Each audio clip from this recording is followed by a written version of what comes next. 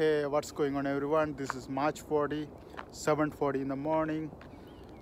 Today I want to talk about why most people don't become wealthy. Or in other words, you can say why don't they become rich? There are five reasons that preventing from most people to become rich. Everyone has the potential to become rich if they have the discipline, but these five reasons hold them back.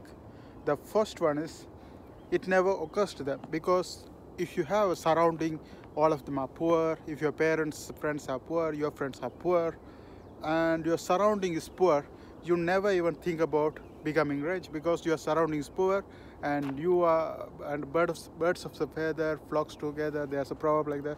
That means like you are who you hang around with. So uh, you can you can tell about yourself by five people around you all the time.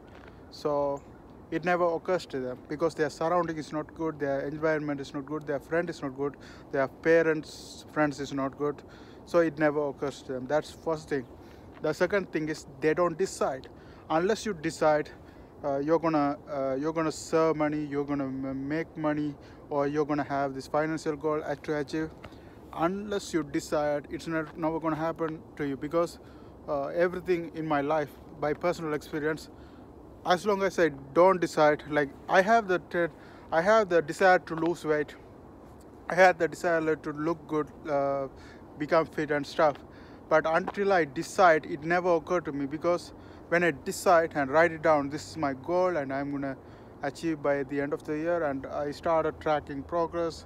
I started uh, how much I'm losing weight and all those kind of things occur automatically once you decide. Once you write down the goal, this much this is the pounds I'm gonna weigh by the end of this year. Everything occurs to me by nature, like everything seems to support me once I decide and write it down. So if you don't write it down and if you don't decide, it's gonna be just blank. Like most of the time, you're gonna not even know whether you are pro making progress or not. So you have to decide in order to achieve the financial goals. The third thing is procrastination. There's always good reason to put it back you know? Uh, like sometimes you don't feel good sometimes you feel lazy sometimes you don't even know what to do. So there's always something that keep you preventing from doing the th thing you can um, you can do right now. The best thing i know is to avoid procrastination schedule your week. Like i started scheduling day and stuff. Most of the time it doesn't work but if you schedule a week and decide okay this much hours i'm going to spend in this kind of activity it actually changed my life like uh, even though I missed now I can later do it by putting the time like this is the amount of time I'm going to spend on this. So that kind of stuff works but uh, I don't know what works for you but it's always good to have some time management book going on. Like you have to read a lot of time management books. If you have procrastination habit procrastination or laziness habits you can have a time management books uh, like uh, you can read one book per week it only costs one hours per day to read a book in a week. So if you spend that amount of time like seven hours in a week to read a book about time management it can change your life. That's the third thing basically like procrastination. And the fourth thing is they don't delay gratification. Like once the check comes out even i had that uh, like uh, once the checks comes out, you somehow spend it all, you know. You somehow spend it all. I even had thought, like I even read the book uh, Richest Man in Babylon and all those kind of book. It all requires you to save at least 10% of your income. But I decide then something tells me in my mind, okay, if I save the money goes, uh, you know, uh, the money will decrease in value by uh, every year so why do you even bother saving? You can put the money into work and make it even more better. So something like that always prevent him from stop saving because I, I always think okay I can flip phone and make money. I can do something else to make money with the money. But it's always good strategy to save something money and never charge it because uh, you can even invest like you have to have certain percentage of the money. Like 10 percentage is good 20 percentage is even better certain of the percentage of the money you never touch. Because even if you are having business and you you make uh, money with the money you have the chance to lose it all. You know you can lose business you can uh, you know the business go may go down anytime. Uh, the thing you decide to never work sometime. So that you never know when it's going to happen.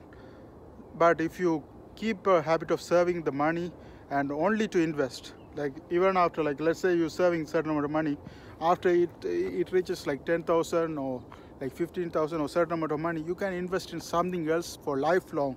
You have to have the certain percentages of money that you never spend in lifetime.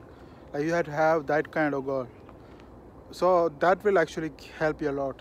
So that one uh, needs some delay in gratification. Like you shouldn't buy the things that like most of the impress other people you know buy dress buy cars uh, buy the things to impress other people. That's uh, like basically preventing you from becoming rich. So that kind of habits you have to avoid. And uh, the last one is the fifth thing is long time perspective. You know the saving money uh, investing and all those kind of things requires patience. You have to wait for a long like you have to have at least 10 years to have some impact on the uh, money you saved so you have to have the patience to see that. If you don't have the patience then it's not going to happen to you. Even in your career decisions like um, if you see the medical professionals it takes them 10 years in canada or us to become a medical professional.